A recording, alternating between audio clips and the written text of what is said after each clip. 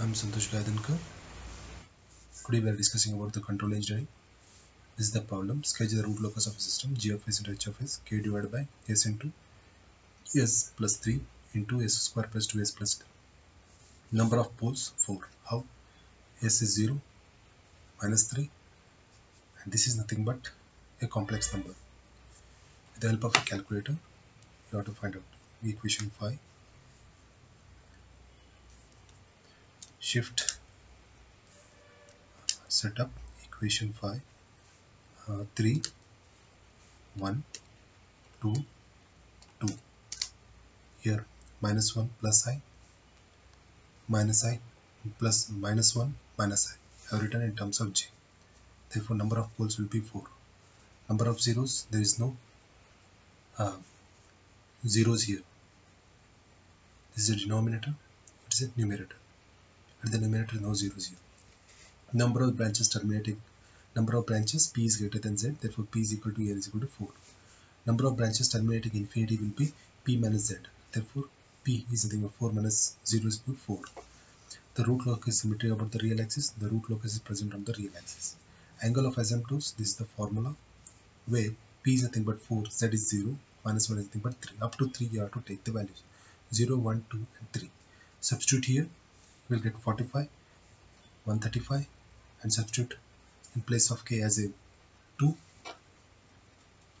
you will get 225 and substitute theta 3 is equal to 2 into 3 plus 1 into 180 divided by 4 minus 0 you will get 315 this is the angles there you will to get now find out the angle of uh, centroid summation of p summation here 0 minus 3 minus 1 plus j minus 1 minus j z is 0 divided by 4 minus 0 this j this j cancels it becomes what? Sigma is equal to minus 1.25 1.25 now breakaway point. Breakaway point is nothing but 1 plus g of s into h of s is equal to 0 this value is obtained from here g of s and h of s right here. 1 plus k divided by s s plus 3 s square plus 2s plus 2 now this can be written as equal to 0 s s plus 3 s square plus 2s plus 2 plus k is equal to 0 further simplification it becomes multiply this 2 and this 2 s square plus 3s s. Square plus 2s plus 2 plus k is equal to 0 next multiply these 2 it becomes s raised to 4 plus 5 s square plus 8 s square plus 6s plus k is equal to 0 is equal to 0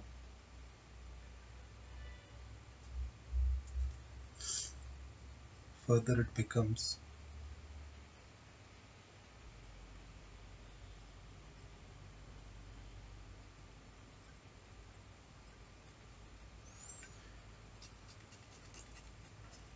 s raised to 4 plus 2s cube plus 2s square plus 3s cube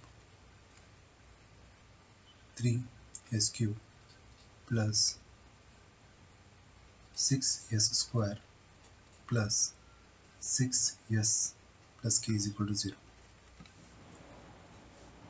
s raised to 4 cube is only one term plus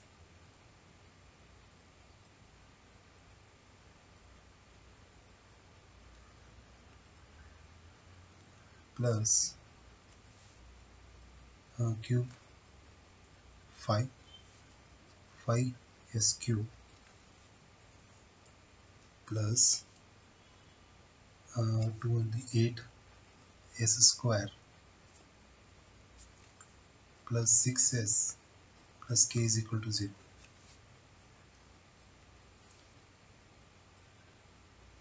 k is equal to 0 now k will be minus s raised to 4 plus 5s cube plus 8s square plus 6s now dk by ds is equal to 0 differentiate this one. 4s square plus 15 s square plus 16s plus 6 is equal to 0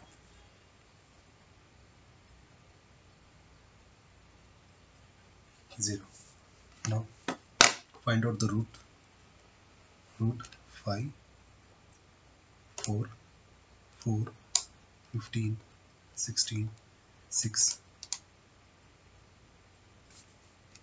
the root will be s is equal to minus 2.28 minus 0.730 7 plus or minus plus 0.345 this is plus or minus j. Therefore this is a complex one. You have to neglect this one. You have to consider only this part. You have to neglect. One more. In terms of negative it appears. You have to come you have to neglect this part. In the breakaway point you have to only consider this part next you have to find out. Cross point. Next find out. Crossover point on imaginary axis by using the RH criteria. RH criteria. Here's this equation. Use this equation. S raised to 4 plus 5 s cube plus 8 s square plus 6s plus k is equal to 0 s raised to 4 s cube. S square. S1 s0 1 5 8 6 and k. Cross multiply this and this. This and this you will obtain 5 into 8 minus 6 into 1 divided by 5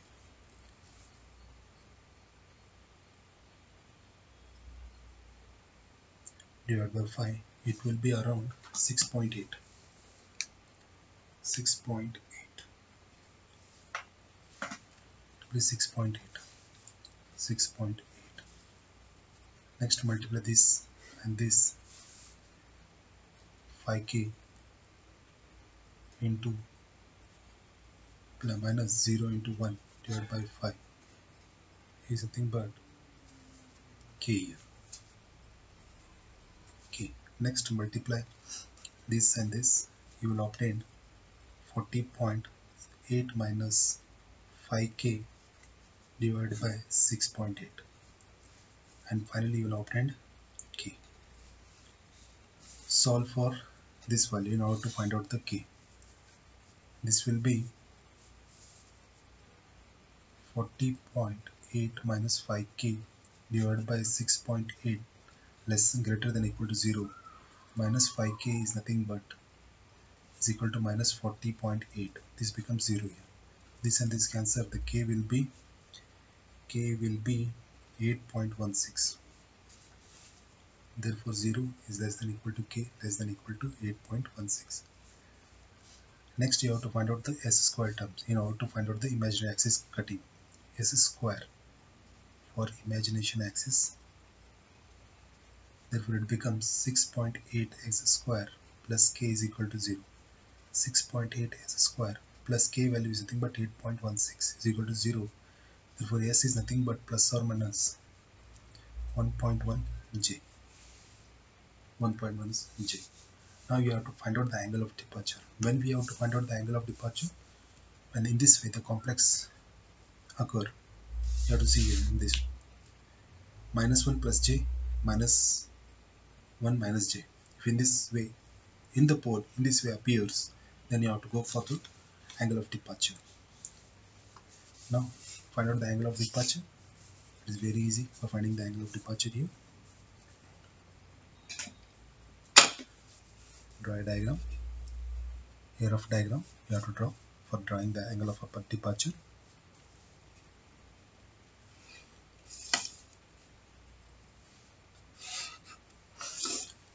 is imaginary. Real. Real sigma. Real sigma. You can say this is 1 2 3 1 2 3 minus 1 minus 2 minus 3 they have set it angle of departure. Here as per the diagram it will be minus 1 plus j. Means here it appears here. Minus 1 plus j minus 1 minus j.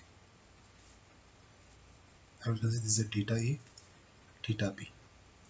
Next pole will be a pole will be 0 next is minus 3 from the this point draw a dotted line this. Now now here we are obtained from this part. 0 minus 3 it is lying in the this part. Plus or minus 1j minus minus 1 minus j. Here it lies. Now what is the angle here? Here I am referring phi p1 this is I am referring phi p2 and this is I refer phi p3 you can refer. Just I'm going to refer this one is phi p1 you can refer it. phi P2 you can refer it. phi P2 you can refer it. For the reference purpose I have considered this one. Next I will find the value of this one. Now phi p1 is nothing but 90 degree. 90 degree. Now phi p2 is nothing but 180 minus minus tan inverse perpendicular distance by base. What is perpendicular distance? 1. Base is nothing but 1. 1 divided by 1. You have to do in this way. The answer will be 135 degree. Now phi p2, 5p3 is nothing but perpendicular tan inverse perpendicular distance divided by base. Perpendicular distance is 1. The base is nothing but from 1 to 3, 2 is there. It is 2. 2. The answer will be the answer will be 26.56 degree. Now summation of phi p is nothing but everything. Summation phi p1 plus phi p2 plus phi p3. It will be 90 plus 135 plus 26.56. The answer will be 251.656 degree. Similarly, there is no zero term. If there is a zero term you have to take it at assume it there is a zero term here in this way zero then you have to write in this way and you have to find out phi z1 you have to do it. But there is no zero term therefore phi 0 is nothing but 0 next next you have to find out theta a theta a is nothing but always it is 180 minus phi what is phi? Phi is nothing but phi is nothing but summation of p minus summation of z. Summation of z is where p is nothing but 251.56. z is nothing but 0. Substitute here 180 minus 251.56. The answer will be minus 71.56. Now theta b will be in terms of negative minus theta a you have to write it. The answer will be 71.56. This is the procedure you have to follow in order to find out the angle of departure. Now we are drawing the graph. This is the graph I am considering. Now the scale I am considering 1 unit is equal to 2 centimeter x and y 1 unit is equal to 2 centimeter. This is the graph I am going to draw. This is the imaginary part, this is the real part. Now first number of poles I will locate. Number of poles first is 0, 0, 3, 3. Next is uh, minus 1 plus j, minus 1 plus j, minus 1 minus j. I have located. Then I will draw root locus where the root locus exists. If we count it from this end, there is only one pole. Therefore the root locus exists between this part. Root locus exists between this part. Next if you count it here it becomes even there is no root locus will exist here. If you, if you hide it the pole should be 1 odd. If the poles are even the root locus doesn't exist. Now this is the next go for dotted line here dotted line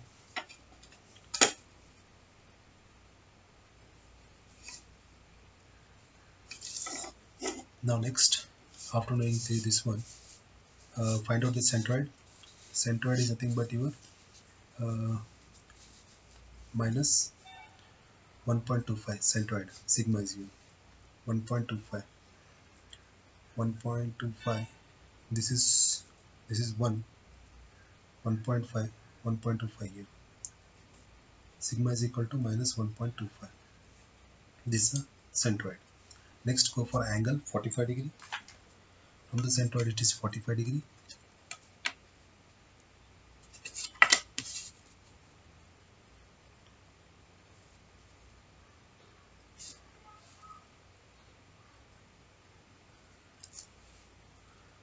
Forty-five degree. Next is one thirty-five.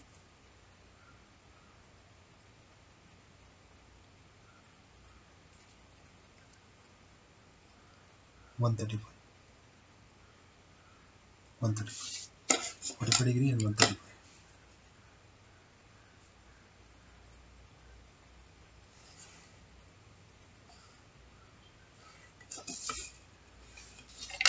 45 degree 135 sorry.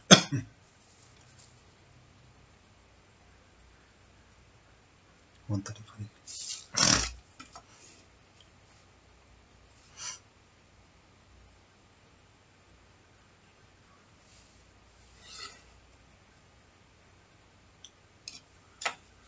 approximate it appear in this. Way this is 45 this is 135 if you count it this will be 225 and this will be 315 this will be 315 if you count it will be 225 and this will be 135 135 and this completes. Okay now after getting this one find out the roots. Now this is the roots. Root minus 2.28 minus 2.28 is approximately it becomes 3 2.5 2.5 this is 2 2.5 3 approximately. If you're getting confusion then do one thing here. What is the value here? Minus 2.28 right here. Minus 2.28 into 2 you can do it. And do the calculator. Minus 0.28 into 2 is nothing but 4.58 count it now. This is 1 2 3 4 4.58 5 nothing but approximately here. That's it. This is the root. Located. And it is uh, it is marked over the root locus. This is a complex point. You have to neglect in case of break even breakaway point. Now next is about imaginary part. Next is about the imaginary part the imaginary part here is minus plus or minus 1.1 cut it here. 1.1 around around here. 1.1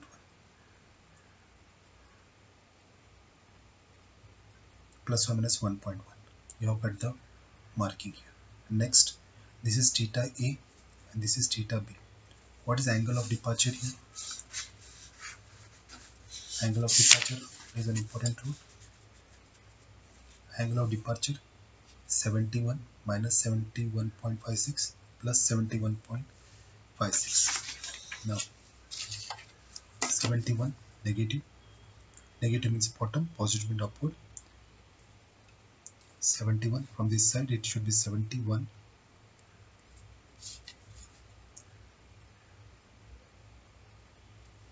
thin dotted line again 71 from this side.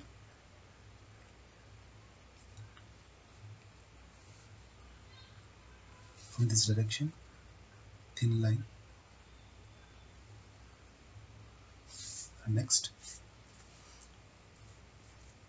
You have to draw in this way. It goes in this way. Moves parallel.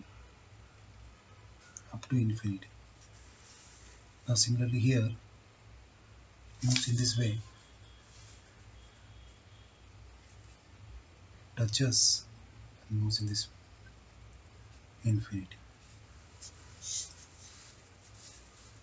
Infinity. Okay?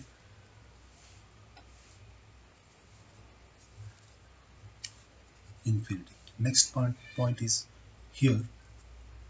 1.1 it moves in this way approximately